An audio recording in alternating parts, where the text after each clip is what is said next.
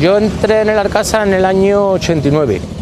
Entonces, eh, cuando yo entré, lo que había, lo que había eran mm, patos mm, comunes, que venían los chiquillos, los compraban en la alfarfa y cuando se hacían grandes, pues venían y los traían aquí los patos comunes. Luego hubo una época en que empezaron a anidar aquí los, los anades real, que son los patos salvajes, y ya y- y se quedaron aquí ya y se quedaron implantados y se perdió el pato común.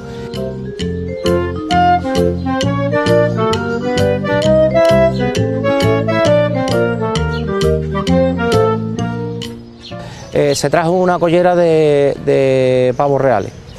Esa collera de pavos reales todavía está, el primitivo que, se trajo todavía lo, tenemos aquí. Y a partir de ahí pues ha ido, se ha ido creciendo el, el número de los pavos reales que tenemos aquí.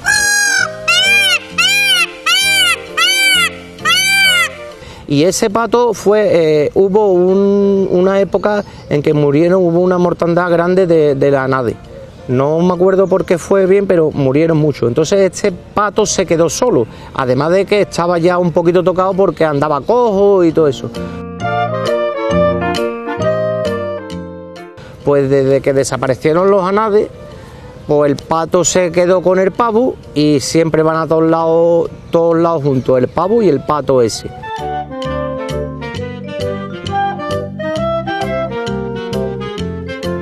Han vuelto otra vez los anades y ese pato sigue con ese pavo y si mm, van los turistas a, a tocar pavo, al pato, al pavo, el pato ataca a los turistas, se tira a los cordones de los turistas y a los zapatos.